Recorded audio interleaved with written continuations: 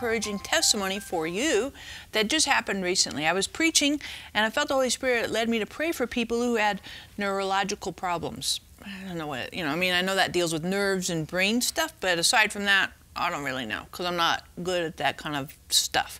Anyways, I was obedient to the Holy Spirit and prayed for people that had neurological problems.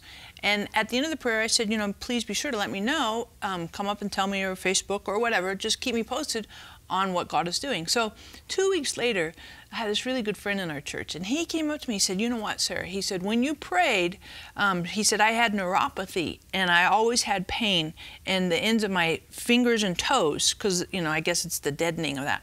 And he said, "Now for the last two weeks, I've had no pain and can feel mm-hmm. without any problems whatsoever from that prayer." So I just encourage you, God answers prayer. So hop on the phone, get on the website. We love to pray for you. And maybe it is something that you have neuropathy or some neurological problem, or maybe you have a financial need or a, a family need, all kinds of problems that we have, but God looks at those as opportunities for God to participate in our lives. So hop on the phone, get on the website. We love to pray for you. And mom, we have this totally cool book that we're doing and teaching on called Maximize Your Day God's Way. Exactly. Nobody can speak to this better than you. I'm living evidence. The voice of prejudice. Keep it up. Right? Help us. but I do share some how to set your priorities, and this is very, very key. Because I think a lot of times the reason we waste time, we don't prioritize the day. So, how do you prioritize your day? And the how to is in this maximize your day God's way. So, now I know what you're thinking. Well, you're older and you don't have the demands on your time. So, when I started on the radio, and that's the way I got into media basically, I would practice on Sarah and Michael, my children. So I would tell them the story, you know, of maybe Hezekiah, and I share that in here how he used his time well. And I would share the story of Gideon. Now, if they get it and they like it, then it's going to be okay on the radio. Now, when Sarah had her three children, they were little, you would bathe them at the same time. Right. She'd say, Come over and tell them Bible stories, you know, while I'm bathing them, because then, you know, they let me bathe them okay. So we use that time to pour the Word of God into them. But, oh, I love this. When I started memorizing books of the Bible, I would want to give them to Sarah. She's a teenager. She didn't want to listen to chapter 10 of Revelation. And so I was sneaky.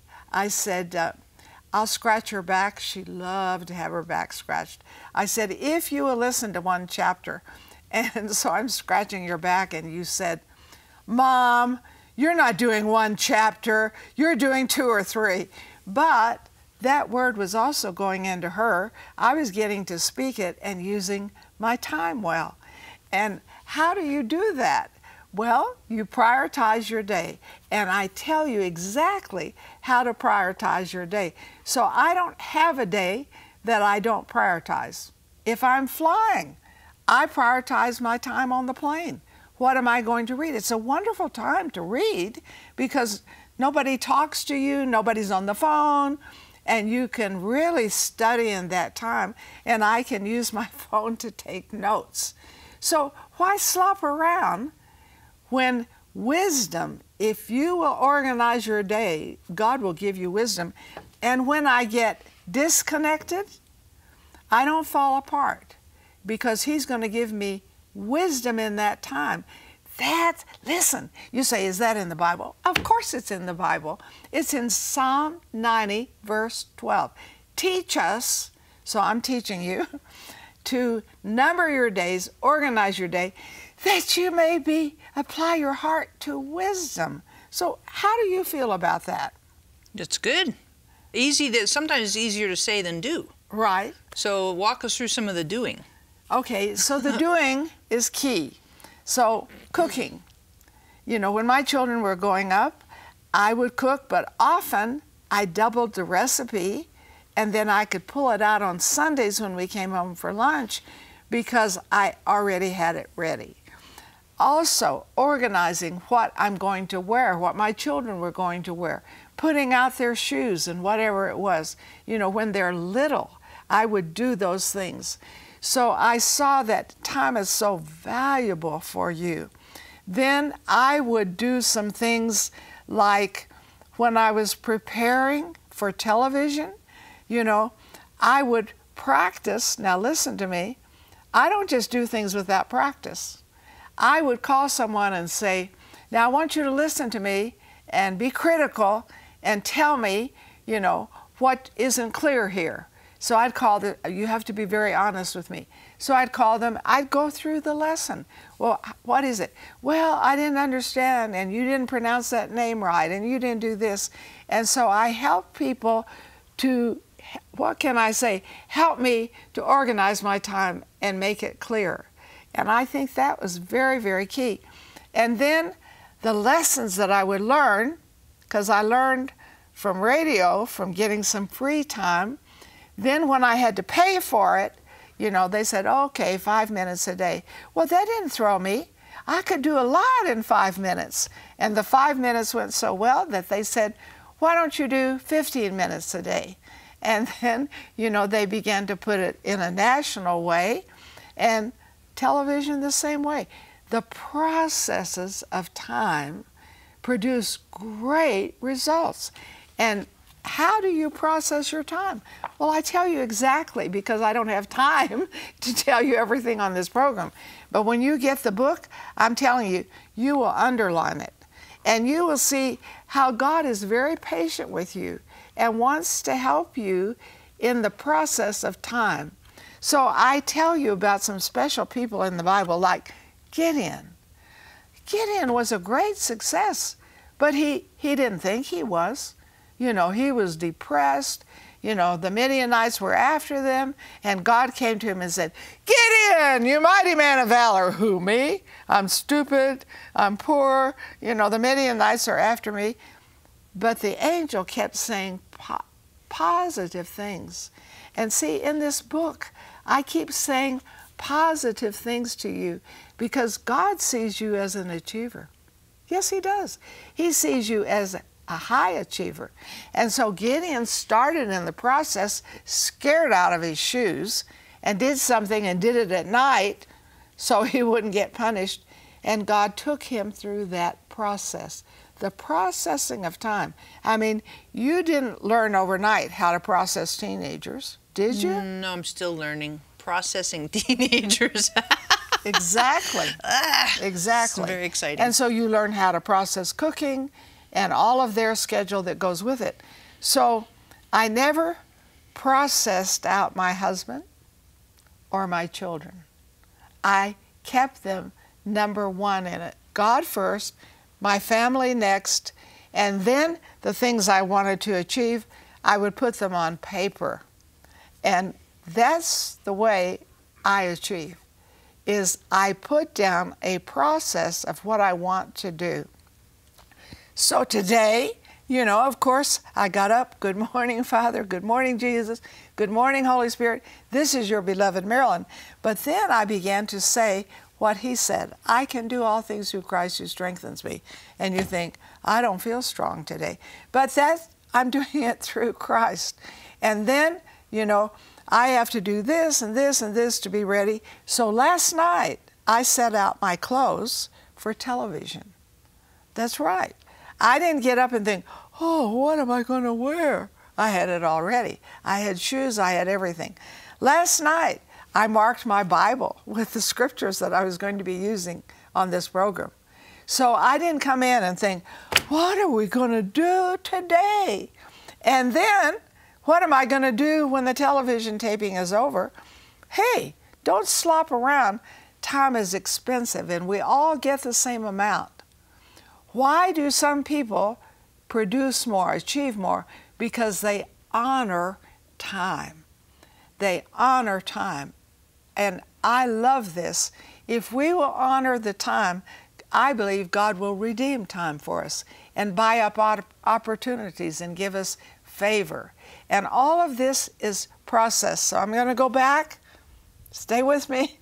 Don't hang up. Don't turn me off I say, don't hang up, don't turn me off. But you know, in 95, God spoke to me to go to Pakistan and do a healing meeting. And I was to do it in Lahore. I knew the city. And no, no one has ever done a healing meeting there.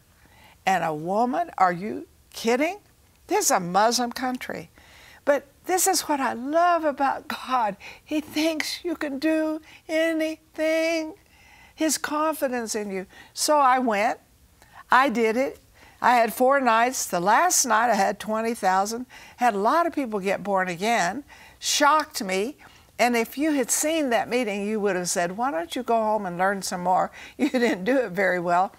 But key people were born again in that meeting. One of them the man who was God born again in that meeting is now the head of all of the security to Pakistan. Born again, turned on to God, spirit filled. Another one has television networks, and I just came back from having a meeting with a million people. And how did I get that? From a man that got born again in 95. So, see, time, using time well, has a process of multiplication. And what God can do with a little bit of time and a little bit of organizing could produce some of the most fantastic results you've ever dreamed of. So you say, Well, I'm a time waster. Call us. We'll pray for you. Get eight books. Do you know eight people? Eight is the number of new beginning. Give them a new beginning, you know, and this is good for teenagers. I mean, this will work, period. So please call us with prayer requests. Get your books right away in Jesus' name. Do you struggle to make the Lord your first priority as you set goals and plan your daily activities? There is no doubt this may be the busiest generation that has ever lived. Rejoice! You can avoid the pressure cooker of a too busy life. For your gift of $30 or more, we will send you Marilyn's book, Maximize Your Day God's Way. In this life changing book, Marilyn shares keys anyone can use to become a happy, productive individual, as well as an effective instrument for God. We will also send you the Maximize Your Day God's Way 2 CD teaching set. These encouraging teachings will help you organize your priorities for God in the midst of emails, text messages, and long to do lists. And to complete this valuable offer, we will send you Chantel Cooley's book, Stand on the Word. This book will help you meditate on the Word of God on a daily basis. Discover how managing your time will help everyday living become more enjoyable and rewarding, both here and in eternity. Call or click today for this valuable resource.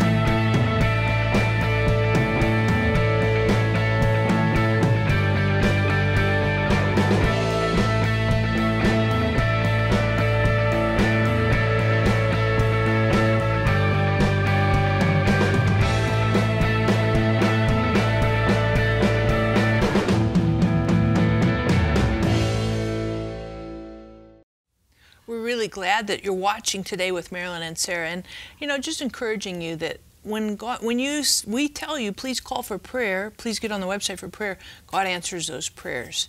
And I was just reading a testimony from Mrs. Jenkins about how she had lost her job in 2012, called for prayer, and by the end of that year, she had finished her college degree and also received a new job. So God does answer prayer. And sometimes, Mom, when we talk about maximizing our day and using our time wisely, that's a big prayer point for for lots of us. I mean, boatloads. So we it encourage is. you call and, and ask for prayer for your time, how to maximize, how to utilize your time with efficiency but supernatural productivity as well.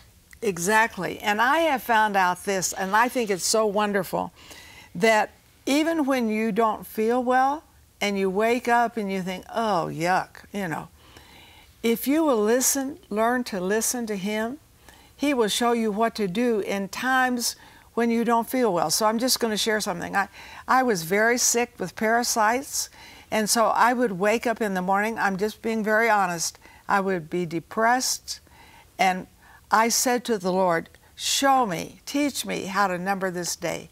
And this is what He told me call people that you know that are sick and pray for them.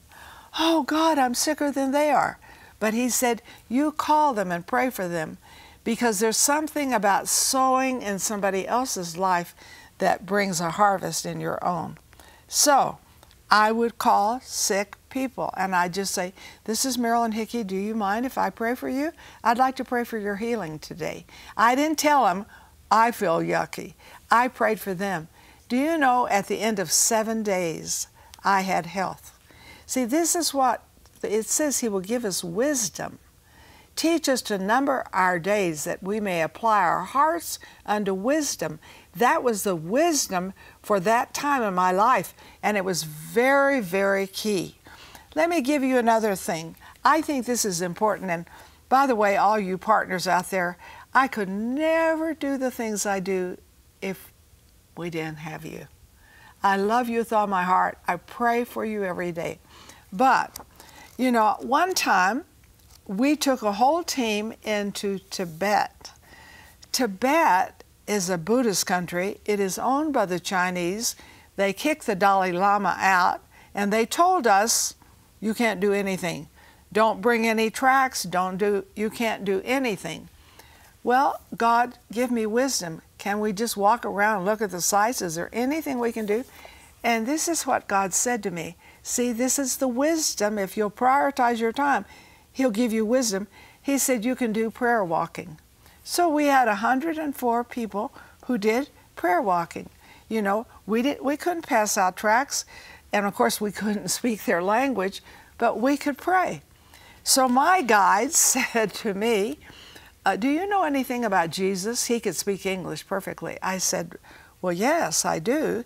I said, "I have four Bibles in your language, New Testaments." Oh, he said, I want the first one. Now watch God. So he said, Now you have four. Yes, I'll give you that one. So he goes to the head Lama and tells him that I have these three New Testaments in their language. And the head Lama said, Have her come to me and give them to me. So I went. The head Lama took them. I have pictures with this. Now, this is prayer walking. Remember, Wisdom comes in prioritizing time. And now that head lama has taught the Gospels to every monk in Tibet. Tibet is in the middle of revival. You say, but you didn't do anything big. We did prayer walking. 104 people doing prayer walking. So when he teaches you to number your days, you will apply your heart to wisdom and who knows, who knows how far it can go.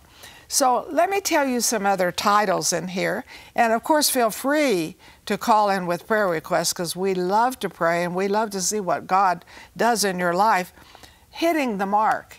If you don't prioritize your time, you won't hit the mark because you didn't even make a mark. Oh, what's the mark for the day? Well, I don't know. I just, well, you'll never hit the mark if you don't prioritize your day. And look here, the pressure cooker. Oh, what about when you get under pressure? So I remember one time I was going to Pakistan, and I've done big meetings there seven times. And I got there, I was so tired. I had jet lag. And I have to speak to all these people, maybe 10,000 people or more. And I said to the Lord, Oh, I am so tired. I have jet lag. You know, oh. And he said to me, I'm not. It's not your name that's going to do it, it's my name. What is that? That's the wisdom he drops into your heart for the occasion of what you have. How do we know what to say to people? Well, if we sow, we're going to reap. If I sow my time in good things and in helping people, I'm going to reap. And you know, my harvests keep getting bigger. You say, where is that in your book? That's on page 105. And you will love that. And then, what about eternity? What about from here to eternity? Are there going to be people in heaven that you sowed in here? Are you do you have a prayer list of your unsaved loved ones? Are you doing it hit, not hit and miss? You're hitting it and you're prioritizing that? I'm telling you, I don't have to prioritize my time in eternity. We don't have a time limit, but I do here. So, what am I doing? I'm getting ready for eternity, but I'm also getting other people ready. So, remember, you can get this book by calling in, but you give people fr- what do you what I want to say? You give them fruit, that's nice. You give them flowers, they wilt. You give them candy, you make them fat. But if you gave them this book, maximize your day God's way, could you change their lives? Could you be a life changer by sharing this book? Could this be a book you use in a daily way to prioritize your time? Could this one chapter, Hitting the Mark, show you how to plan your day and schedule your time? You say, I don't know how you do that. And I can't, you're talking so fast I can't get it. But when you get the book, there's a whole chapter on it. And it's no secret, it's no big secret. It's basically using the principles that God has for us. So get books for other people. And what about catching God's vision for you? When he told Gideon, You're a mighty man of valor, that was God's vision. And Gideon literally delivered the Israelites, he delivered them from the Midianites through a process of listening to God. God has a vision of you. God has a plan for you that has your name on it. If you don't believe it, read Psalm 139. He tells how He puts you together piece by piece by piece. He tells how He gives you your thoughts before you even know them. Oh, is that awesome? So, what is His vision for you? Is it just some slop bucket thing? Oh, hum, who am I? Hey, He has something so wonderful. And I'm thinking, and I tell about this about a King Hezekiah. The enemy was coming and going to attack them. What do you do? Do you just get in fear and fall apart and have a nervous breakdown? No, he didn't. He had a water tunnel outside the city the enemy could take, and then they wouldn't have any water in the city. So while he's waiting for the enemy to come, he covers that water, the entrance of that water tunnel, and digs a tunnel and gets the water into the city. It's called Hezekiah's Tunnel. And you and I have walked through it. You know, my husband took us through it several times. It's almost a mile. And he got the water inside. You know, is the enemy attacking you? Are you having all kinds of just yucky, horrible problems? Can God give you a plan that can make you successful? Yes, He can. Yes, He can. This will so encourage you who you are in Jesus, the vision that He has for you, and how that vision can come to pass piece by piece. Call in with your prayer request and call in and get these books. Pass them on. Books work while you sleep. I say they are real missionaries. Do you struggle to make the Lord your first priority as you set goals and plan your daily activities? There is no doubt this may be the busiest generation that has ever lived. Rejoice! You can avoid the pressure cooker of a too busy life. For your gift of $30 or more, we will send you Marilyn's book, Maximize Your Day God's Way. In this life changing book, Marilyn shares keys anyone can use to become a happy, productive individual, as well as an effective instrument for God. We will also send you the Maximize Your Day God's Way 2 CD teaching set. These encouraging teachings will help you organize your priorities for God in the midst of emails, text messages, and long to do lists. And to complete this valuable offer, we will send you Chantel Cooley's book, Stand on the Word.